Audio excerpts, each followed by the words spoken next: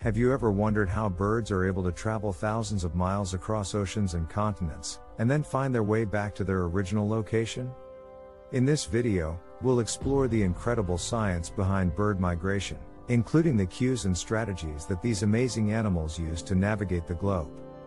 Bird migration is a phenomenon that has fascinated scientists and nature enthusiasts for centuries.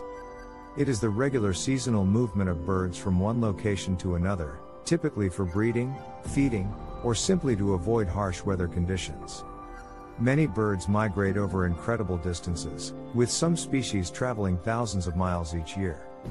So, how do birds navigate such long distances? One of the most important cues that birds use is the Earth's magnetic field. Many birds have tiny magnetic particles in their beaks or eyes that allow them to sense the Earth's magnetic field, and use it like a compass to navigate in a particular direction. In addition to the magnetic field, birds also use visual cues, such as the position of the sun and stars, to help guide their way. Another strategy that birds use to navigate is their ability to detect subtle changes in the Earth's magnetic field. This helps them to navigate around obstacles such as mountains, and to adjust their course as needed.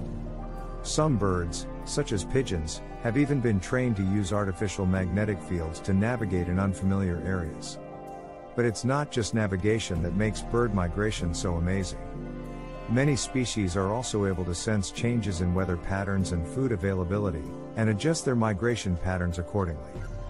For example, some birds will delay their migration if they sense that there is still enough food available in their current location, while others will speed up their migration if they sense that a storm is approaching. In conclusion, bird migration is an incredible natural phenomenon that has captivated scientists and nature enthusiasts for centuries. So the next time you see a bird flying overhead, remember that it may be on an incredible journey across continents and oceans, using its incredible instincts and abilities to navigate the world. Thanks for watching, and we hope you learned something amazing today.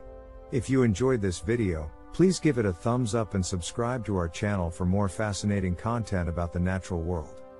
And as always, please share your thoughts, questions, and ideas in the comments section below.